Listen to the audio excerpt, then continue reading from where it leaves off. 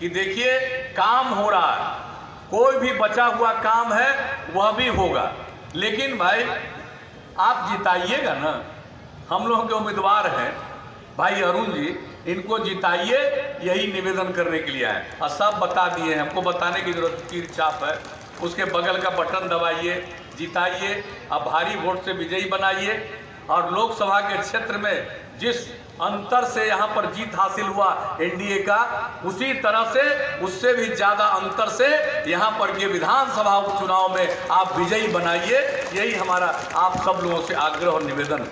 एकता का माहौल हम लोगों ने बनाने की कोशिश की और उसके चलते ही समाज एकजुट होकर के आगे बढ़ेगा।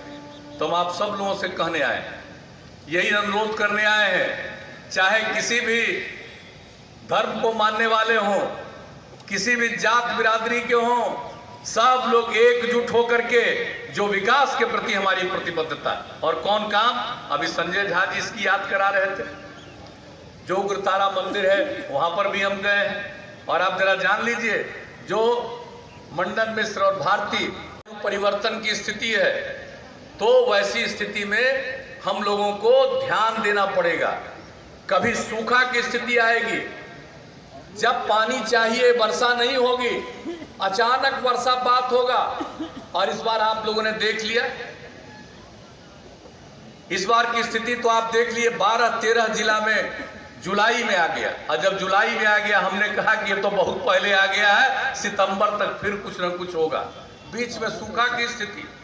इससे जो नुकसान हुआ है कोसी का हम लोग इतना काम करेंगे कि कोसी को और बेहतर स्थिति में लाएँगे और उसी दिशा में काम कर रहे हैं। और उसके लिए जो काम तत्काल सहायता का हुआ, वो तो हम लोगों ने किया ही। और जो कोसी त्रासदी हुई थी, जिस प्रकार से आपदा प्रबंधन का काम हो रहा था, इस देश में कहीं भी कोई एक जगह पर, और याद करिए सहरसा में, एक जगह पर आठ हज़ार से दस हज़ार लोग को रख करके हम लोगों ने किस तरह से केंद्र बनाया? आपदा राहत का केंद्र। तो इसी तरह से लगातार बंधन के लिए जो तत्काल काम है, वह भी करते हैं और स्थायी समाधान के लिए भी हम लोग काम करते हैं। तो हम लोगों की प्रतिबद्धता, ये सब काम हम लोग आपकी खिदमत में करेंगे।